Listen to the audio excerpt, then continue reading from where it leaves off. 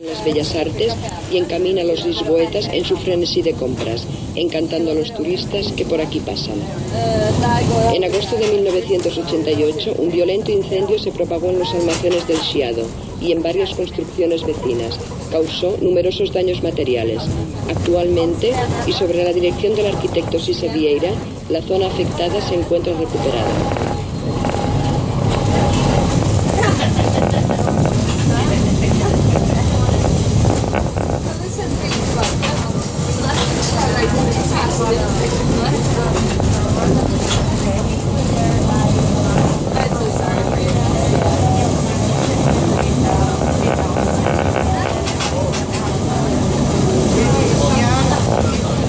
La derecha, la plaza del Teatro de São Carlos, donde se sitúa el Teatro Nacional del mismo nombre.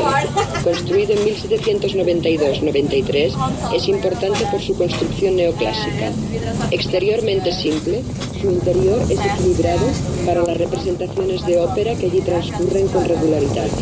En una casa situada frente al teatro vivió uno de los mayores escritores de la poesía portuguesa, Fernando Pessoa cuya estatua se encuentra enfrente de la Brasileira, uno de los cafés más emblemáticos del Chiado.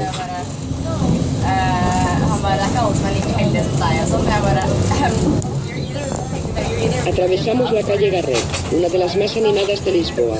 Luego al principio de la calle encontramos el referido café A Brasileira, donde se bebía café importado de Brasil y donde todavía es posible apreciar los cuadros de Almada Negreiros. A nuestra izquierda la calle Antonio María Cardoso, donde se sitúa el Teatro Municipal de São Luis, edificado en 1916.